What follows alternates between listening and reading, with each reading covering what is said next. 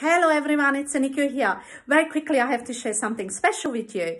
I had a client um, came in with really dry and flaky skin. Well, she had some breakouts, so she used the product and literally disrupted the top layer of the skin. When I saw it, I knew exactly what is the problem with her skin.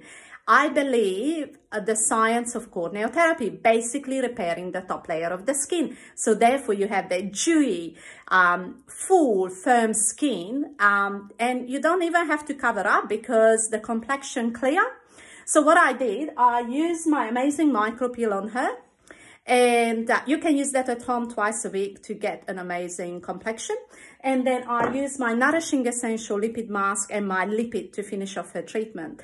And seriously, she walked out really happy. Her skin was dewy, firm and hydrated and she was amazingly happy. I was really happy too to prove what we need. We need that protection, which is the top layer and we need products which enhancing that top layer rather than taking away. So when something feels squeaky clean and also a little bit burny, then literally take um, take that top layer of the skin um, away and the balance of the pH which protecting you from the environment it's been disrupted and that therefore we can get um, pigmentation and wrinkles and all sorts of issues with our skin.